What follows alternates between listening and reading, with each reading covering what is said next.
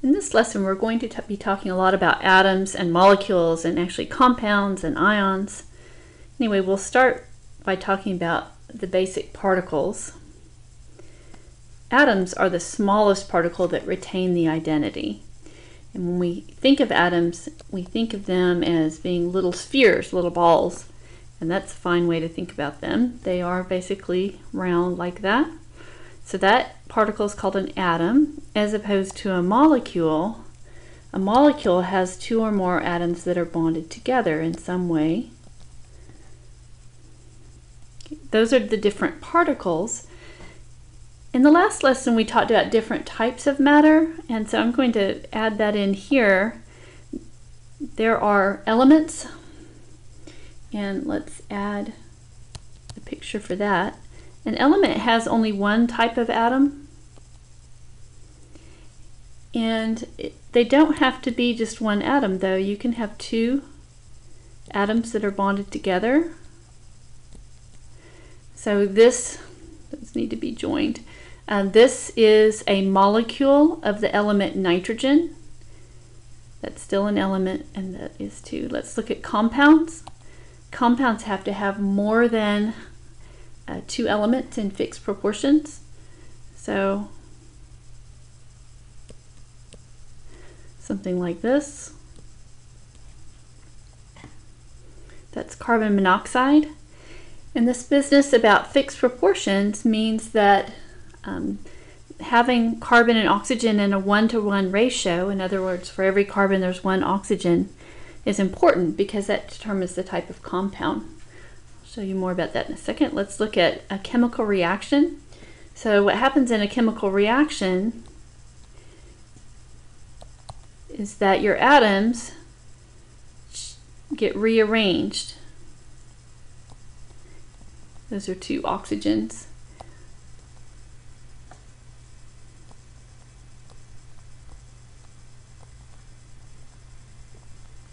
So they change who they're bonded to. Um, a couple things to notice. First of all, um, this is up here, this is carbon monoxide and this one is carbon dioxide. And they're both made with carbon and oxygen, but what I was saying about the proportions matter. These are very different compounds. Which one would you like to breathe a lot of? Carbon dioxide or carbon monoxide? They're very different. So that um, ratio does matter.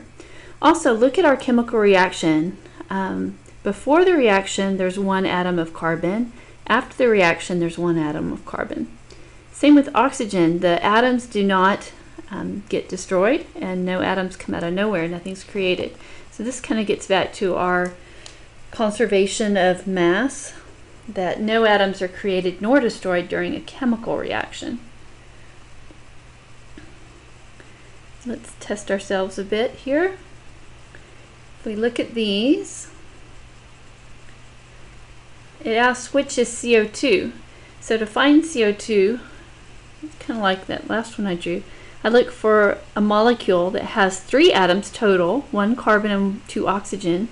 So these letters aren't labeled, but we can see that the only one that could be CO2 is this one because it has one atom of one type and two of another type.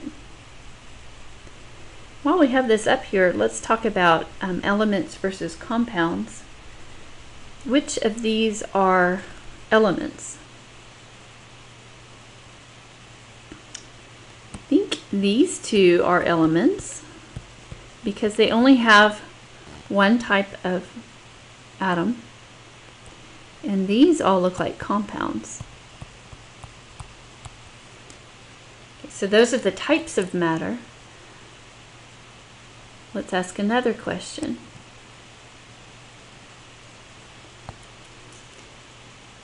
Which of these are atoms and which of these are molecules? There's only one atom, isn't it? Isn't there? There's this one right here is an atom. The rest of these are all molecules.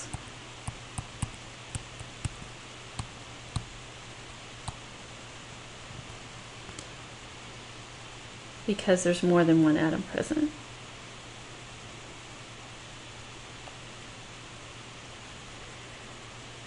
I know you've seen this a lot, so um, but see what you can remember. For each subatomic particle, the things that make up the atoms, we're going to talk about its charge, its mass, and where it is. For the charge, it's positive or negative or neutral.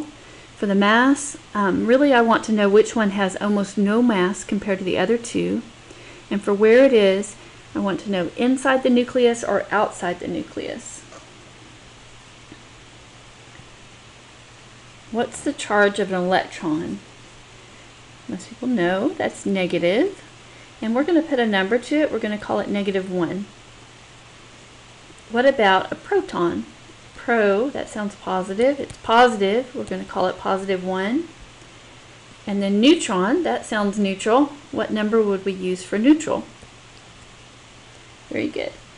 Of the three, which one has almost no mass compared to the other two? Does have mass, but compared to the other two, not much.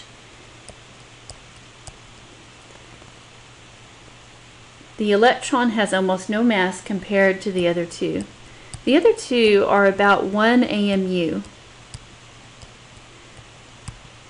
An AMU is an atomic mass unit. Which one of the particles is outside the nucleus?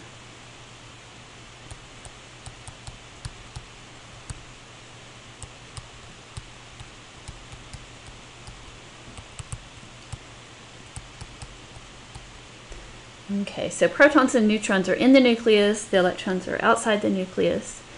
There's a couple things we can do with this. First of all, I could ask, where is most of the mass located in the atom? Most of the mass is in the nucleus. Protons and neutrons are in the nucleus, that's where most of the mass is. Another thing I could ask is, what is the overall charge of the nucleus?